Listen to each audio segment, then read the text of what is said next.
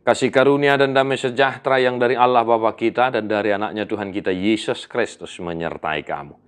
Amin. Shalom manginang selamat pagi, salam parhorasan, salam sukacita. Saya didongani asini rohani Tuhan imam musaluhu nasadarion, tang yang nami Tuhan tatotong memasu-masu.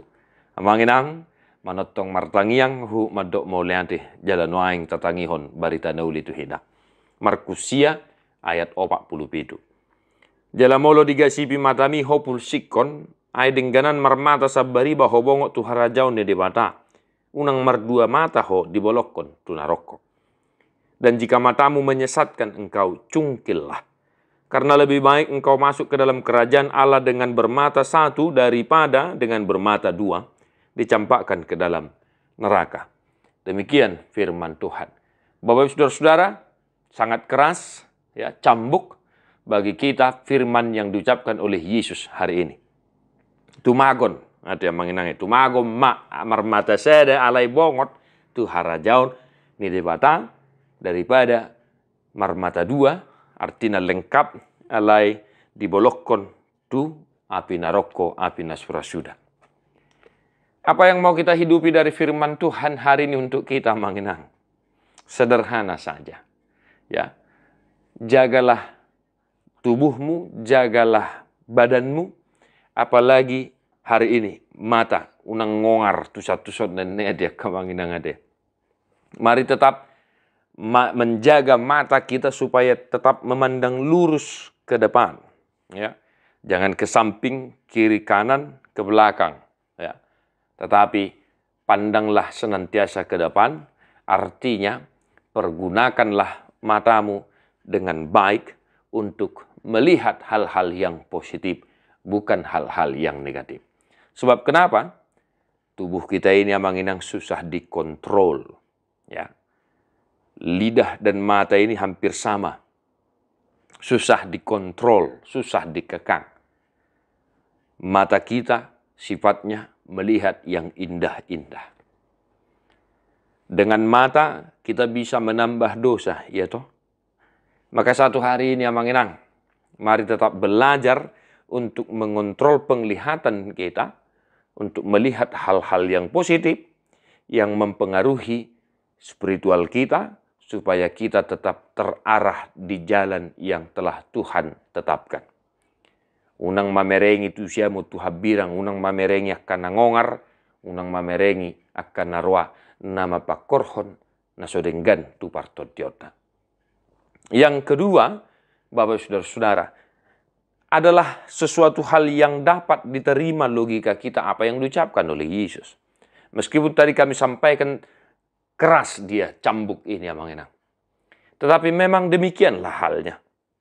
Walaupun terlihat agak kasar ya, kita manusia mungkin tidak akan terima dengan ucapan ini.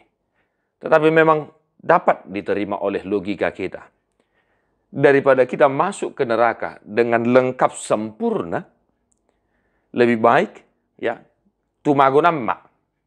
Lebih baik punya satu mata, satu tangan, satu kaki. Tetapi kita masuk ke dalam kerajaan Allah. Sebab Yesus juga berkata, apalah gunanya kita berlelah-lelah siang dan malam. Kita bekerja keras pontang panting banting tulang. Kalau toh pada akhirnya kita akan kehilangan roh kita. Nah ini yang mau dimaksud oleh Yesus sama ya. Bukan berarti ini kita saat ini juga ada suatu ibu sikom mata naya dia manginang ada. Tidak.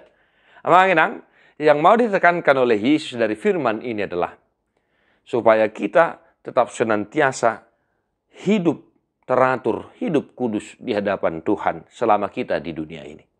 Tadi yang pertama sudah saya katakan supaya kita mengarahkan pandangan kita ke hal-hal yang lebih baik. Dan yang kedua, amanginan, supaya kita tetap senantiasa mengingat hal yang terpenting dalam kehidupan kita, yaitu roh kita, jiwa kita, supaya jangan sampai kita masuk ke neraka, akhirnya kelak kita masuk ke neraka dengan sempurna. Adalah lebih baik bermata satu tetapi kita masuk ke dalam kerajaan Allah. Sebab dalam kerajaan Allah tidak ada istilah bermata satu, bertangan satu, berkaki satu. Kelak kita akan disempurnakan segala sesuatu yang berkaitan dengan kita. Maka satu hari ini Bapak Ibu Saudara-saudara, ingatlah untuk senantiasa mengedepankan apa yang terpenting terutama dalam kehidupan.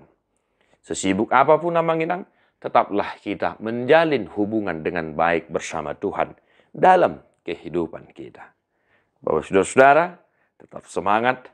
Di pasu-pasu Tuhan tamahamu, malu maka sahih terapul marsa ni roha. Di rohai hamu akan nama las ni roha.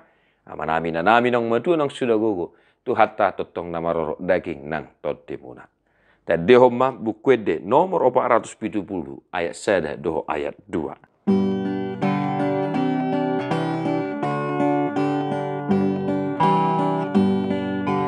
Jesus ho na puna ang dohot na adong diyaw.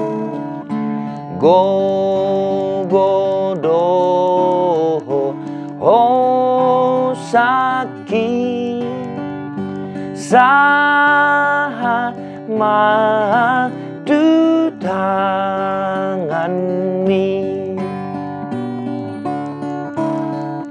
Sai rajai ma mataki. Mana kasih dalam mi Sai patinggil pinggol hi Dumangihon hatami